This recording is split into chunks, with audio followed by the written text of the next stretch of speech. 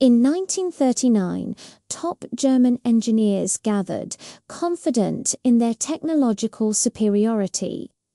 When they examined photos of Britain's Rolls-Royce Merlin engine, they scoffed, liquid-cooled, outdated thinking, one noted, dismissing it as too vulnerable.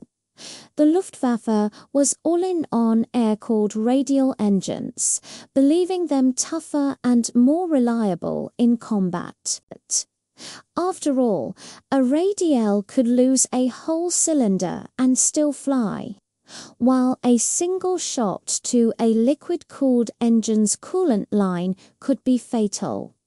This wasn't just a technical preference, it was institutional arrogance.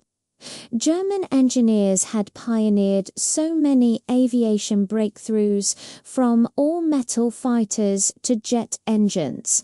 Why would they look to Britain for lessons?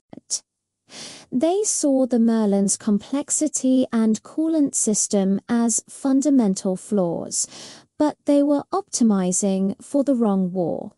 While they focused on durability, Rolls-Royce was mastering high-altitude performance.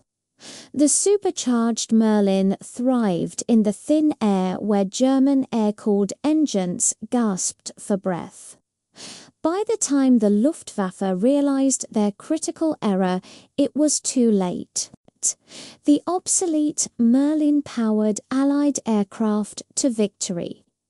A powerful lesson in how even the smartest experts can get it catastrophically wrong.